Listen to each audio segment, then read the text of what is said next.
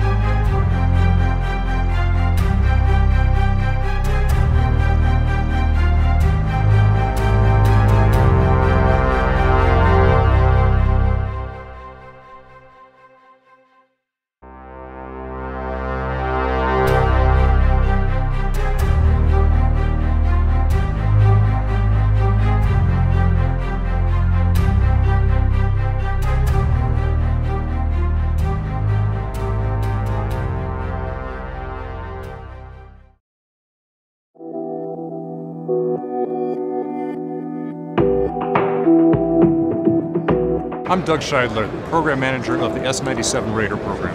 Sikorsky is a very strong supporter of the U.S. Army. There's many Blackhawks in Iraq and Afghanistan and around the world. About seven years ago, we started down a path of developing the X2 technology. We demonstrated 250 knots, and at that time, we made a decision to develop the next generation vertical lift aircraft called the S-97 Raider. Our target market is for the Armed Aerial Scout.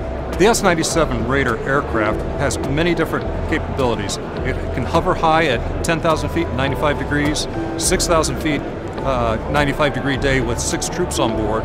Can also go up to 220 knots, high G maneuver capability, as well as some other attributes that will benefit the U.S. Army. Sikorsky is very excited about the S-97 Raider program and selected many suppliers, and one of them that was very important to us was Honeywell. Honeywell is providing many parts to the aircraft, the APU, the engine start, uh, and other devices that are very critical to the success. And I want to thank everyone at Honeywell for their support and dedication to this program.